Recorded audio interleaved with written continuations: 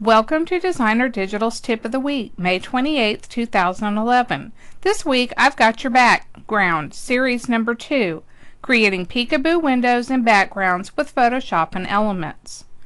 This week's on-trend tip is the second in our new series on adding pizzazz to background papers in Photoshop and Elements. In just a few easy steps you can create windows in your background papers that allow papers, photos, and elements to peek through. Begin by opening a new document in Photoshop or Elements.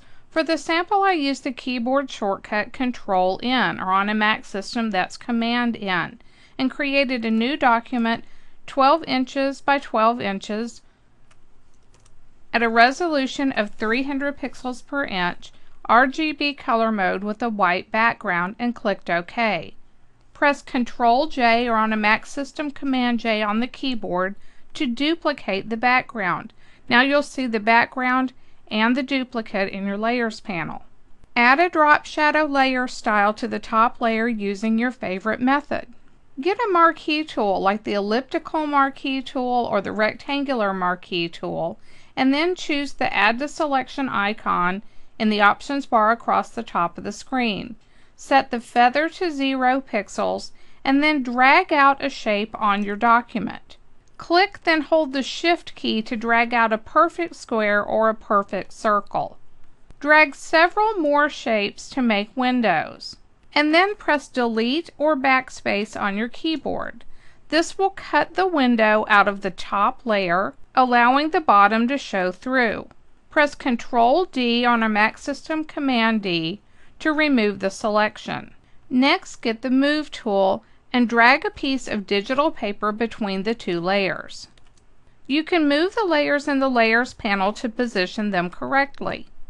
Then press Ctrl E or on a Mac system Command E to make this layer the background.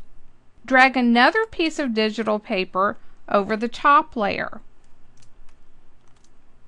and drag it into place. Hold the Alt key or on a Mac system the Option key and click between the top layer and the second layer to create a clipping mask. Your pattern paper will take the shape of the cutout paper. Using this method is better than cutting holes directly in your digital paper since you can change out the paper design if you change your mind later. To allow digital embellishments and photos to peek through the hole, open up the embellishments and drag them onto your layout. Position them between the cutout layer and the background layer. Playing peekaboo with your digital papers is a fun way to add interesting design elements to your digital projects. Thanks for watching and be sure to check back next week for another Photoshop or Elements tip of the week.